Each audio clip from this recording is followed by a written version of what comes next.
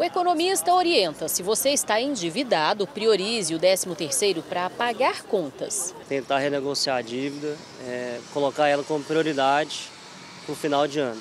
Eu acho que a dívida acaba consumindo muito o orçamento da família, porque os juros do Brasil, infelizmente, são, são, bem, são bem grandes.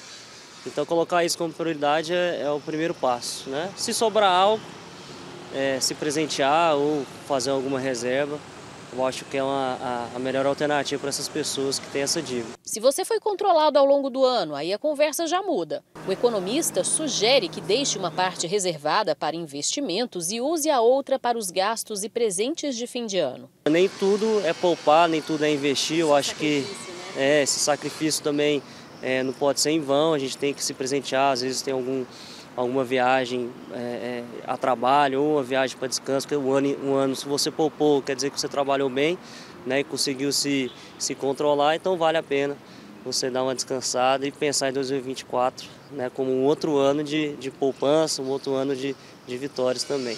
Outra dica é lembrar de gastos comuns do começo de ano, como material escolar, impostos, renovação de seguro, e por isso vale a pena já se programar. Vale a pena você se organizar, botar na ponta do lápis e reservar alguma reserva para isso também, caso é, você tenha uma, uma renda ali um pouco, um pouco instável, vale a pena você se reservar ali para poder não, não ter, não ser pego de surpresa caso não tenha tantas uma receita boa ali no começo do ano também. Quem já recebeu a primeira parcela comemora o dinheirinho extra. Vai ser bem-vindo no final do ano.